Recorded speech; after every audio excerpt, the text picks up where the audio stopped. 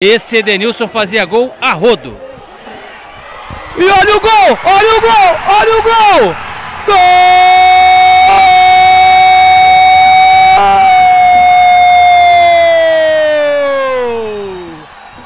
É do ACP! Um balde de água fria na torcida do Nacional.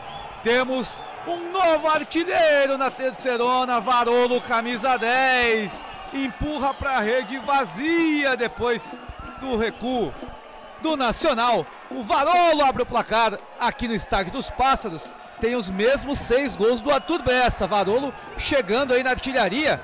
Olha só o erro de corte do Léo Assunção e o Varolo ficou com um presente. Só faltou o lacinho na bola. É, e aí faltou a comunicação, né?